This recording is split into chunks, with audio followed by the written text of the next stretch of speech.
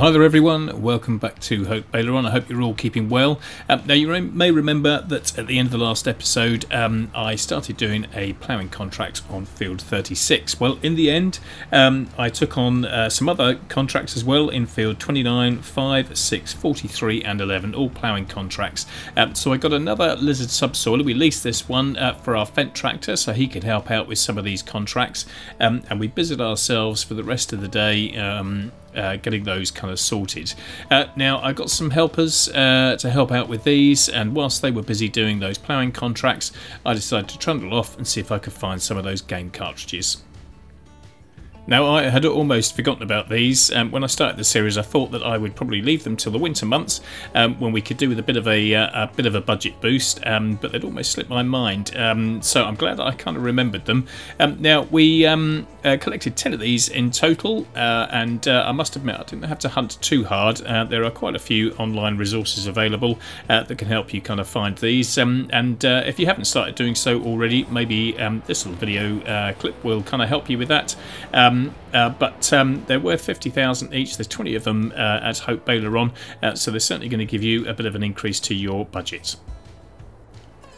So we picked up half of these in the end, uh, which gave us a uh, nice budget boost of uh, 500,000 euros, uh, which is pretty good. We sort of covered the west side of the map, um, got the ones in the town to go.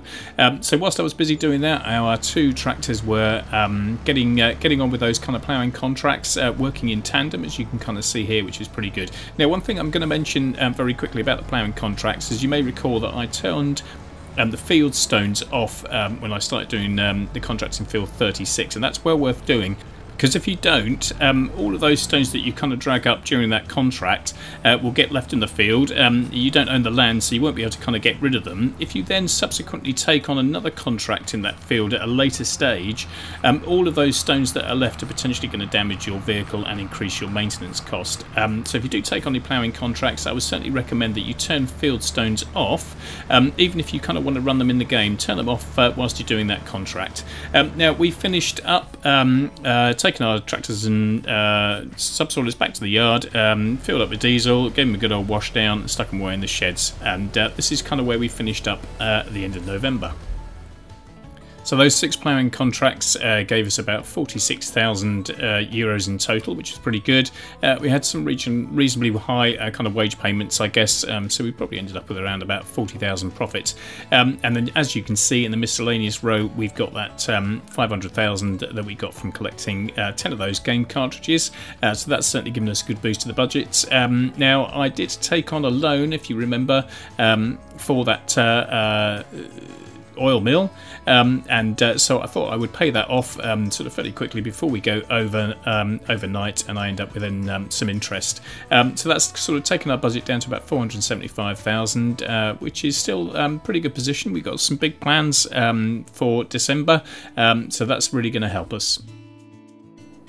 Well, it's a chilly and snowy morning, um, but uh, the snow doesn't seem to be settling, so that's kind of okay. And it looks like the sun's going to come out uh, a little bit later, so hopefully everything will be uh, kind of fine. Our greenhouses are still producing away uh, despite the cold weather, and our pallets seem to be um, stacking a little bit better. The first um, lot of pallets, kind of, it spawned six pallets all in a row, uh, but only um, one layer of boxes, um, and they wouldn't uh, they wouldn't stack properly. Um, so they seem to be doing slightly better. our oilseed radishes all grown up. Um, so we just need to cultivate that in in the spring. And our grass is um, coming along nicely. That's growing away. We've got 75% uh, yield bonus um, and a 50, percent fertilisation. Now I'm hoping that I might be able to roll this again now that it's kind of grown up a little bit and get that 100% uh, fertilisation state, and uh, we'll then be uh, close to 100% um, in terms of our yield bonus. Now I need to pop up the oil mill, uh, see how things are progressing up there. Um, so that's good. We can see we've got four uh, pallets uh, that have spawned now. Um, so each of them have got a thousand litres uh, of oil, um, and we've got 60 63, I think, in the actual uh, factory itself. So um, that seems to be doing okay. It's a bit of a slow process though, so it's going to be a little while before we can sell things. Um, now we started with uh, 30,536 um, litres. I think we've got about uh, 22,400.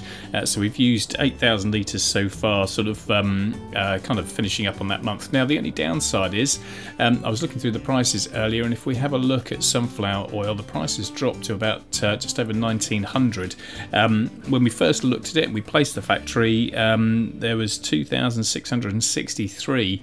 Um, so I was going to make, I was definitely going to make kind of more money rather than selling the sunflower directly. Um, but at the moment, I'm going to take a loss. So uh, I'm going to have to wait until that price creeps back up again. Okay, so I'm going to give this uh, rolling a go to see if I can improve the uh, fertilisation level in the grass field once again. Um, must admit it seems a little bit sort of strange um, rolling uh, in December and in the snow. I'm not quite sure whether you'd be able to do this in uh, kind of real life, but um, uh, I'm kind of guessing that it's going to enable us to do that. Um, so we'll give it a go. Uh, I'm just going to drop into the sort of corner here. Um, we'll just sort of drive up about um, 10, 15 yards or so, and I'll just jump out and see if anything has changed. so I'll just drop this down and um, uh, hopefully as soon as I start off yes we can see that there's a change in uh, sort of state there on the actual kind of field itself. So just um, wander around. We'll go and have a little look see where we are. Um, so that's definitely improved. It's kind of hovering around a little bit in terms of the actual fertilization level sort of 60 70 80 percent. If I go and have a look at the other grass that's clearly about 50%. Um, so I don't know, maybe with the maybe with the rolls it just sort of takes a little time for that rolling to kind of bed in and have its full effect. But um, it certainly seems to have improved things. So I'm going to crack on with this um, and uh, get this kind of done while I can. Um, not an awful lot of other sort of field work that we can do um, at the moment, so I might as well um, get this done and then hopefully we'll be able to take a first cut of this grass uh, maybe in kind of March or something like that. And I'm holding off doing anything with the sheep until I've got some grass uh, feed or hay uh, that I can kind of give to them. So I'm going to wait a little while um, to get the sheep uh, sort of in place. I could go off and buy some grass if I wanted to, I guess, but it's quite pricey, uh, and uh, I'm in sort of no rush, so I'm happy uh, to wait a little bit until we've got some of our own grass for that. Now, the other um, kind of big plan for today, and I'm going to be sort of fairly adventurous, and um, and that's kind of partly enabled by the fact that I've sort of collected some of those game cartridges, um, is that I want to buy Field 30. Now that's a fairly big sort of um, field, um, and it's just over the track, sort of behind our farmhouse, uh, which you'll see in a minute when I kind of turn around at the field here. Um, now it's a fair, fair, size um, and it costs 630,000 uh, euros. So um, I'm not going to be able to kind of purchase it unless I go off and get the rest of those game cartridges. Um, now I would have probably got those at some point anyway, um, whether I do them all in one go or whether I kind of find them um, sort of gradually. In some respects, is neither here nor there. It's going to boost our budget. So I'm going to probably once I finish this rolling, go off and get the rest of those game cartridges. that'll give us another 500,000 boost and that will enable me to buy that field 30 uh, which you can kind of see just over the farmhouse there. It's in a cultivated state at the moment. It's got some weeds on it um, but it's a fairly big field and the strip that's kind of um, up against the side of the actual track that will also be good because it will enable me to um, expand the farm. Um, got some plans to put some additional animal husbandries in and I also kind of want to um, do some more production facilities as well. So that's um, kind of our big aim today is to go off and get that field and then we'll figure out what we're going to do with it Right, so I'm going to get the rest of this field rolled, um, so I will catch up with all of you in a little while.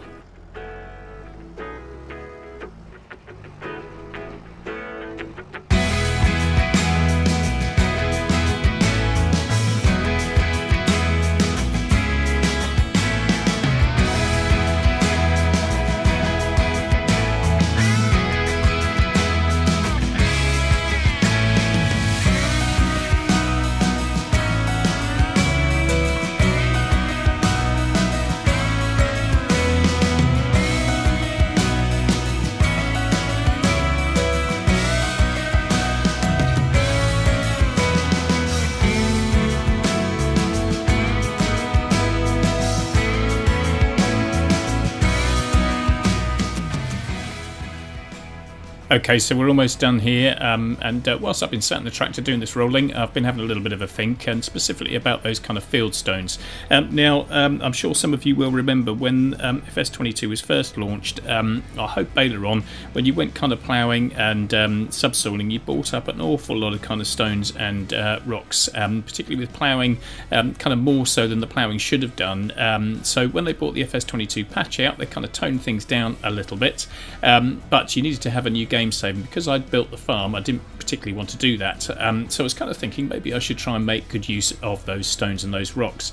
So what I'm going to do is once we've bought field 30, um, I'm also going to go and buy um, the lime production factory, kind of the or the um, sort of stone crusher that produces lime. Um, going to get myself a stone picker. Um, we're going to plough up field 30. We're going to drag up a, uh, drag up a load of those rocks and stones. I'm going to collect them and then see if we can make some money out of crushing those rocks.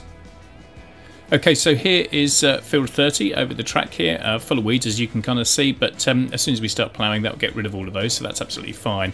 Um, now, I think what I'll use this bottom kind of part um, of the field for is probably putting some animal husbandries in in the future, quite keen to get some cows. Um, and then down the far end there, which is closer kind of to the main road, um, I'll probably put some other production facilities, and then the rest of this field I will leave for arable crops and such like. Um, now, just going back over to the farmyard, the uh, lime production production uh, facility, I think what I'll probably do is put that kind of um, in here are backing onto the sort of track. Um, now, unfortunately, the diesel Bowser is in the way, uh, so I'm going to have to kind of um, sell that and kind of relocate it. But I think I should be able to kind of put one over there where the pressure washer is. Um, so that should kind of fit in there uh, sort of quite nicely, and um, they would kind of go, you know, kind of hand in hand. Now, before I do any of that, um, I do have to go off and get the rest of those gaming cartridges, those collectibles, because uh, I'm going to need this money to be able to purchase Field 30, get the lime production facility and uh, uh, and everything else before I can kind of start um, making any more money. So there's the 10 cartridges that I've already collected. Um, so I need to bomb off and uh, go and find the remaining 10.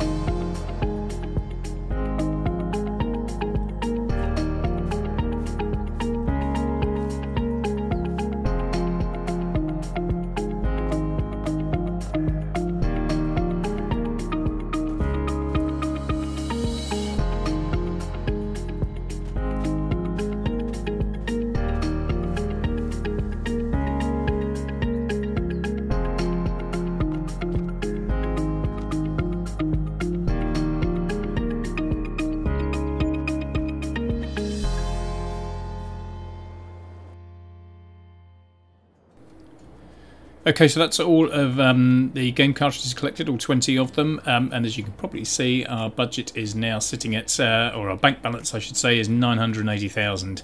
Um, so uh, the snow has uh, disappeared, or it stopped snowing, and uh, the sun has come out. It's a glorious winter's day. Our grass field um, is uh, fully fertilised now, and we're sitting at 98% in terms of yield bonus. Um, so hopefully that will give us a good yield uh, come the springtime. Um, now, the next thing I need to do is go and purchase that field 30. Um, uh, but actually, while I'm here, this um, shed here, I kind of put this in place when I first built the farm. weren't that many kind of cheapish options um, that were available um, sort of in game at the time, uh, but I don't really like it. It's too open, um, and I'd kind of like to change it. And there's a few things that have come up um, sort of on the mod hub recently that are a bit more uh, cost effective. So, what do you reckon? Do you think I should change that? I don't know. Drop me a comment down uh, down below. Let me know what you think. But uh, I think I might need to get something else. Right, field 30 um, just over there. Uh, so we're going to purchase this. So I'll just need to go into the map um, and uh, we will um, just buy that. So 629,904 uh, euros, I think it is. So now that we've got that purchased, um, the first thing I'm going to do is uh, get it ploughed. Um, so I will kind of use uh, both tractors and uh, subsoilers. We've still got the other one leased that's uh, on the back of the Fendt there. Um, so I'll uh, get the McCormick um, set up first. I'm probably going to send him up to the top end of the field um, and then I can um, get him to sort of work from that top edge all the way down to the farm and then I'll get the Fendt uh, sort of stuck on this corner just by the track and he can work his kind of way up and then I think probably probably when we're about, I don't know, 60% um, done, uh, I will then be able to kind of go and um, sort the stone picker out, go and pick that up and uh, cut, start collecting some of those stones. Now I just want to check that I have definitely turned field stones back on, uh, which I have, so that's good. So I'll get this um, McCormick underway uh, up in the top corner here, and then I'll go and sort the Fendt out.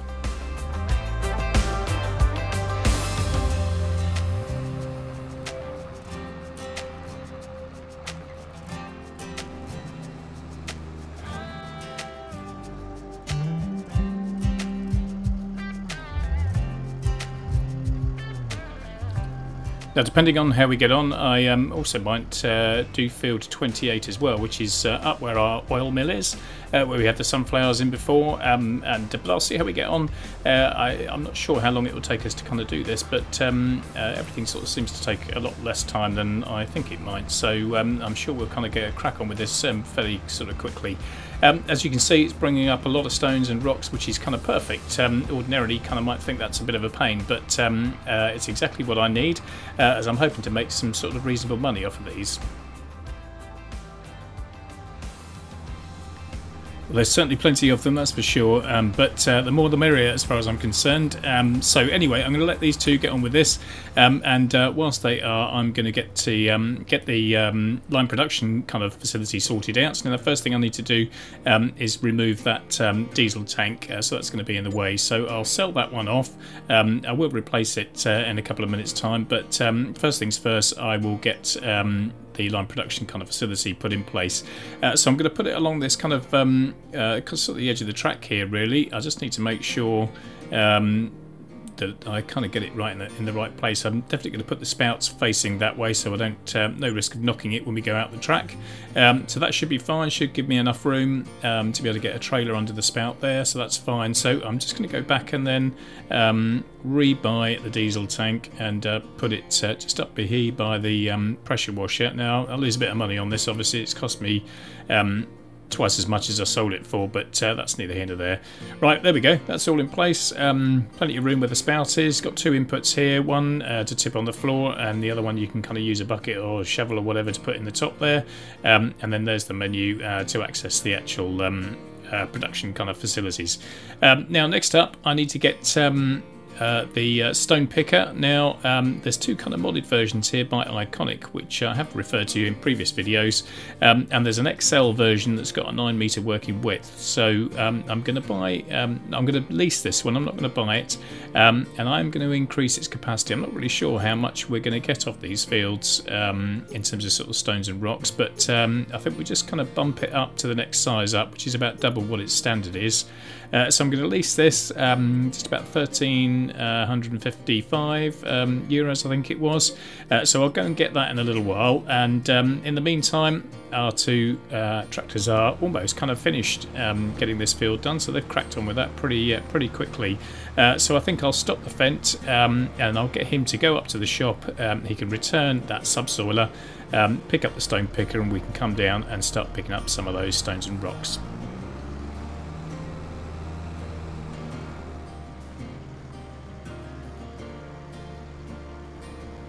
Well, you can't beat uh, a bit of winter field work on a nice, uh, crisp, sunny day.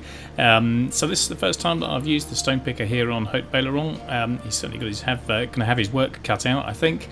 Um, but uh, yeah, generally speaking, I think it's really good that we've got some of these extra kind of facilities in um, FS22. I think in FS19, you're kind of scratching your head during the winter months, figuring out um, what you might be able to do, and kind of ended up skipping days and months and things like that. Um, but with all the production facilities and everything else that they kind of put into the game this time, then uh, certainly quite a bit to keep you busy over the winter months. So that's really good, and I uh, am going to uh, make good use of those production facilities. Um, now, I'm not going to tell you what I'm, uh, what crop I'm going to put in this field, uh, but I'm hoping that it will make good use of one, if not two, other production facilities. Um, and I'm hoping that company in sort of episodes five and certainly six, uh, we'll be able to kind of bring those uh, into the gameplay. Now, one thing I need to be mindful of, I guess, is that um, uh, with the stone picker kind of being a trailed implement, um, you do, of course, run over all these big rocks and stones um, with the tractor. So I'm guessing that kind of does have a bit of a negative impact in terms of um, your kind of tractor maintenance and stuff like that. So I'll have to keep an eye on that because that uh, is obviously going to end up being a little bit of a cost. Uh, taking a quick look at the map, you can see uh, that our stones are being kind of cleared nicely, um, and having ploughed the field, um, we've got rid of all of those weeds as well, and we're left with, um, we have a 50% uh, fertilisation level as well, and obviously using the stone picker leaves the field in a nice um, cultivated state, so we're all kind of prepped and ready for a bit of spring drilling in a couple of months' time.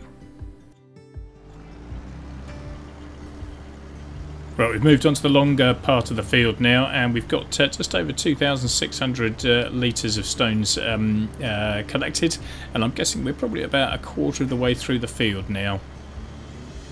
So I was just going to have a look at um, sort of prices and things like that as well. So having bought that lime production facility, uh, we've now got a kind of a, a, buying price that's sort of popped up that's 2,751 um, euros, which seems um, kind of pretty high.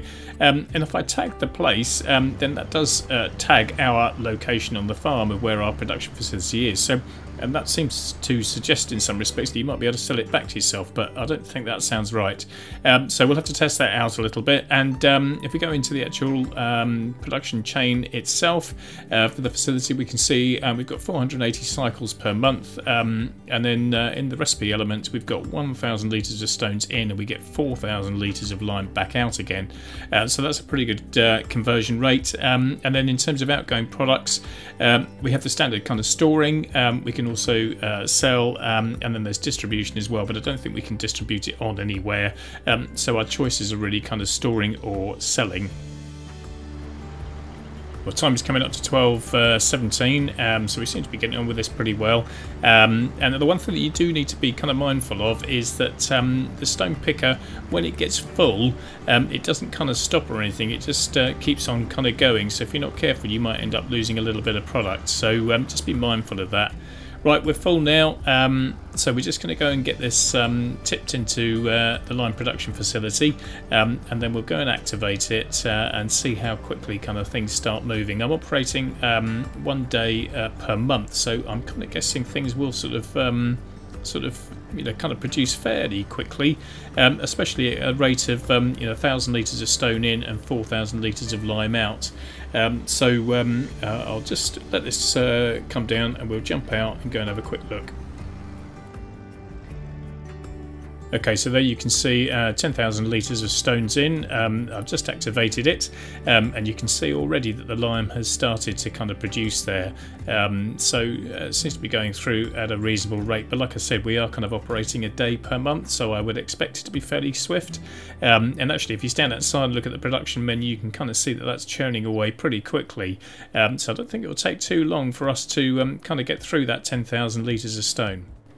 Well, I just need to pick up on uh, where we kind of left off here. Just got this little strip at the top to finish off. Um, and I think whilst um, Fendt's doing this, then I will get the McCormick and the subsoiler over into field 28 and we'll start getting that ploughed.